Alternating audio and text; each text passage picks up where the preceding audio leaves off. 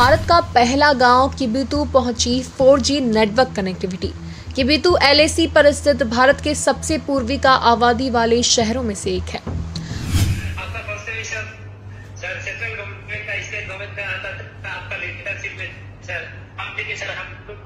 Successfully ये का और फोर जी कनेक्टिविटी आज सक्सेसफुली कमीशन हुआ है good evening sir how are you Yeah, good evening.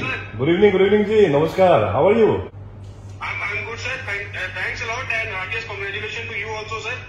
तो बहुत खुशी का बात है हम सबके लिए कि आज किबितो जो हमारा जो पहला गाँव है दी फ़र्स्ट विलेज जो अपना अंजाव सेक्टर का वहाँ पे अभी 4G का कनेक्शन हो गया है।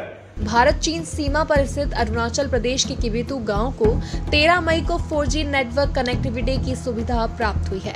ये उपलब्धि प्रधानमंत्री नरेंद्र मोदी के मार्गदर्शन में universal service funded scheme USOF परियोजना का परिणाम है।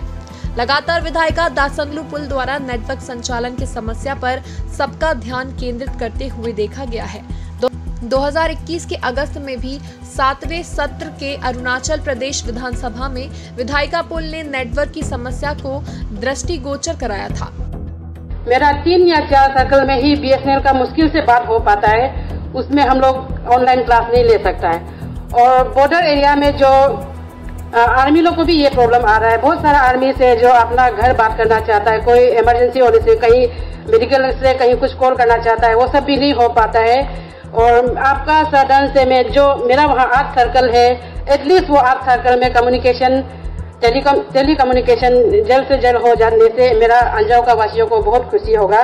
भारत का पहला गाँव किबितू अंजौ ज़िले में स्थित है। और हवाई में जिला मुख्यालय से लगभग 70 किलोमीटर उत्तर में है। ये वास्तविक नियंत्रण रेखा एलएसी पर स्थित भारत के सबसे पूर्वी स्थायी रूप से आबादी वाले शहरों में से एक है। भारत विकसित है, मगर आज भी देश में काफ़ी इलाकों में 4G की सुविधा सपने जैसा ही है। मगर ये भी सच है कि विकसित भारत विकास के पथ पर है। इस पूरी खबर पे आपकी अपनी निजी राय क्या है, कमेंट के रूप में हम तक ज़रूर पहुंचाएँ। अभी के लिए इतना ही, देखते रहिए राष्ट्रीय दृष्टि। धन्यवाद। जय हिंद।